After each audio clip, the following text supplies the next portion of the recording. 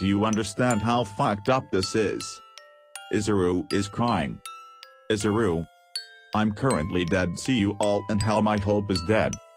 Me before watching Danganronpa 3 to everyone, OMG you should totally play Danganronpa. Me right now Danganronpa 3 warning, Don please I beg you. We've lost another best girl. Literally me I am crying right now don't even say her name, I'm in the state of despair. Nanami is dead and so am I. I think that brainwashing video is legit, because now I want to kill everyone after what I saw. Reblog if you agree that Chiaki Nanami didn't deserve that. Kodaka is a dick and Junko deserved to suffer TBH. Me After Despair Arc Episode 10 The most powerful, most tragic, most despair-inducing anime in mankind history. When you thought that this anime can get more gruel. Slams fist on table. Chiaki deserved better goddamn it. I don't want to die. When I heard Nanami saying that, I started crying tbh.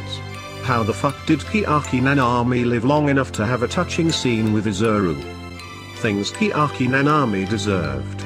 Not fucking this.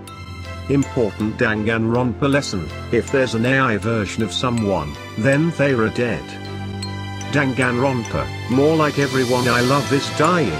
There's no place for best girls in Danganronpa, and this confirms it.